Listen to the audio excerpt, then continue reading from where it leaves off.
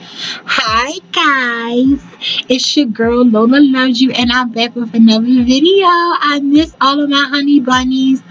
Um, I had sad news. Um, my aunt passed away. And you know that I was close to my aunt and it was, you know, very uh I can't I can't explain y'all. My feelings was very numb. I was sad. Um but my aunt came to me in a dream, told me everything was going to be fine and she was okay. And so that kind of gave me a, a great deal of closure.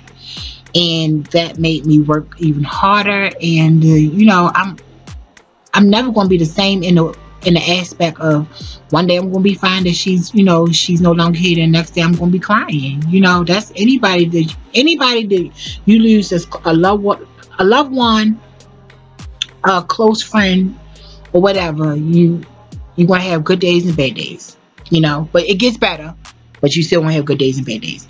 But anyway, um, during this time, I did manage to watch the Netflix movie Beauty, aka Whitney, in my opinion. okay. Okay. this movie to me had when I saw the previews, the trailer, I was so excited. I had such high hopes for this movie.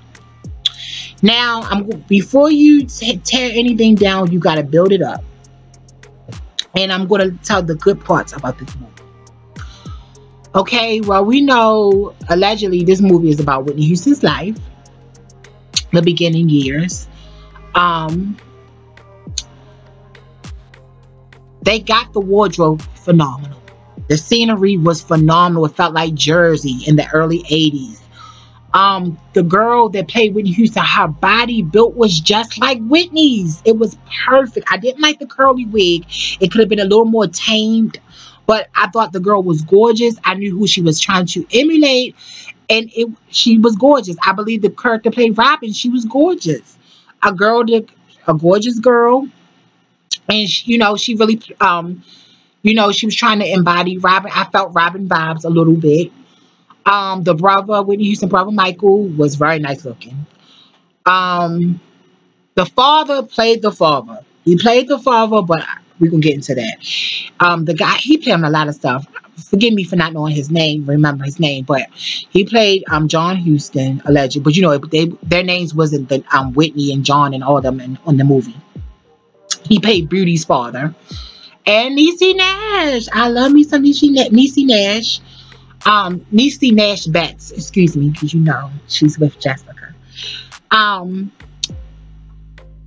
Niecy Nash, in my opinion, should have passed up on this role. Um, good talent, but just wasn't the role. Um, Sharon Stone was the best. And out of everybody in the movie, in my opinion, Sharon Stone was playing Clive Davis. And she was the best, the best of the best. Sharon Stone, yes, was was the best out of all of them. My favorite part of the movie was the scenery. I just loved the scenery. It just looked felt real. Now, um oh gosh. That's all the good parts about the movie had some few funny parts, but the writing. The writing was horrible. It was like somebody just looked at old Whitney Houston interviews and book quotes, a magazine interview quotes, and put them together and try to make a, a script. It was horrible. Horrible, y'all. They didn't even have no music or singing in the movie. Every time somebody sing, you just see them shake their heads and, and start lip singing to air, to nothing. It was horrible. Oh my gosh. It's just it's like they took Whitney Houston's life and scrambled it and um try to do twists and turns and try to jam everything in and oh my gosh and it, I, and you know what? It's so funny. Everybody that want to play Whitney, why do they make them so naive? And oh, oh no, I didn't, I didn't mean it that way. Whitney was not like that. She was respectful, but she wasn't scary. They make her seem so scary, shy, and timid. Whitney was not like that. Especially when it came to Robyn. She was the more the aggressor. Robyn character, her wig was awful. I don't, Robyn never wore. I don't, and that's the thing about, I understand these characters are these characters. But it's like this, the mullet, like for real, a short mullet, it was horrible. The Gary character, oh my gosh. They made it seem like he lived in the basement. One of them relatives lived in the basement that got a little prop issues. And that was, it was awful. The father was horrendous, y'all. They made that father a terrible villain, which we know Whitney Houston father did a lot of bad things to her financially, but at the end of the day, he had, Whitney Houston was a daddy's girl. He had her back. He was not like that. And Niecy Nash playing Cissy Houston, well, Beauty's mother. It's just the script was so bad. I'm like, Niecy Nash, why would you even play like that? Because people might think that you really act bad. I know it was just a bad script. All of them could act. Every last one of them, I could tell really could act, but it just was a bad script. It was a horrible script. And the wigs were laid. Like these wigs were laid. They were whack. No type of thought or effort. The only time I liked the wig when in the movie, Beauty was acting like Whitney in the beauty shop when she was trying on wigs, and she had that little rat wig on, like how Whitney Houston was wearing her hair, like on the um, late night show in 1985, singing "You Give Good Good Love." I like that. That did look like Whitney. I could see Whitney, and the clothing the girl lady had on was impeccable the um, lead lady to play um, Beauty to play aka Whitney. Her, them sweaters, them shirts, they look like Whitney. Her built was so much of Whitney Houston. But the father, that was so trifling how they portrayed it. For the father, like I said, had bad ways, but not like that. He was not like that to Whitney Houston. Not like that.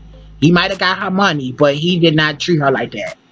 And then he, they, you know, at the end, um, they try to do like that um when he was in hospital bed saying pay me the money you owe me it was it was horrible y'all the movie was and i had some of my honey bunnies was leaving they was leaving comments and on up my um trailer reaction video to the, the um to the movie and I was like, it can't be that bad, but it was bad, y'all. But like I said, they got the scenery was perfect.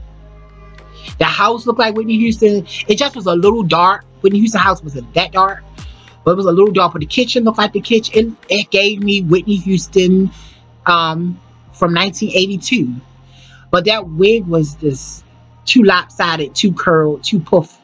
It just, if she had a, a, better wig, but like I said, she acted so naive. And then oh, Bobby Brown was in there, y'all. A supposed Bobby Brown, allegedly the neighbor when she moved.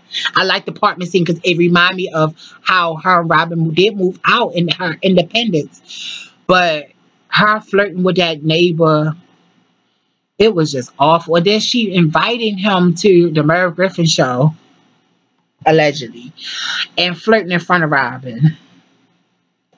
This stuff, I mean, I, I knew I know it had to be twist and turn, so I guess they didn't get sued or copyright or whatever the case may be, but they had good ingredients, but they just had a terrible script and terrible wigs.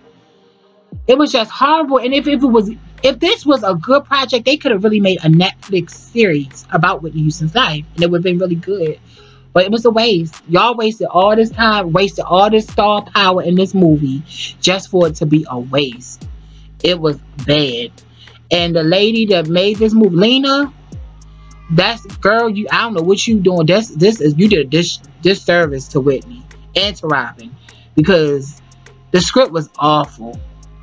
It was awful, and the wigs were horrendous. And I love Lena, and I love the whole idea of the situation, but it just didn't come out right. That's all I gotta say for me for the, about this movie. I'll give it a one star, and I give it if I had to give graded, it would be a C minus lackluster, but like I put the scenery and stuff, it was phenomenal. And the clothing was phenomenal. It just, I didn't like the wigs, but the, it, I got that. And then how Whitney was, well, Beauty was watching TV, watching the Clark sisters from the 90s. I'm like, this stuff is from the 90s. They showing stuff from performances, performance from the 90s. This ain't, that wasn't from the 80s. Like it just was weird. But anyway, leave in the comments down below. Did you like it? Who was your favorite character in the movie? What was your favorite part in the movie? My favorite part in the movie would have to be when her and Robyn was in their apartment and they just was, you know, embracing their, their home together. I did like that part. And I like the part when I would see her, Whitney walking around, well, Beauty walking around the neighborhood. That gave me Whitney Field with a plaid shirt. That just gave me Whitney Field down.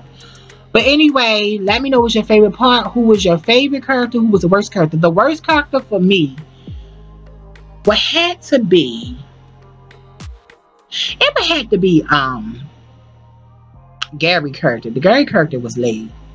Well, her brother, Beauty's brother, he was laid. And they made Michael seem so gullible. That was horrible, y'all. But let me know who was your favorite character, who was your worst, the worst character. And leave it in the comments down below. I will be back with another video. If y'all have any other ideas or questions about Whitney Houston or video topic, leave it in the comments down below. It's your girl, Lola Loves You. And I'll be back. Mommy bunnies, I love y'all. I'm back.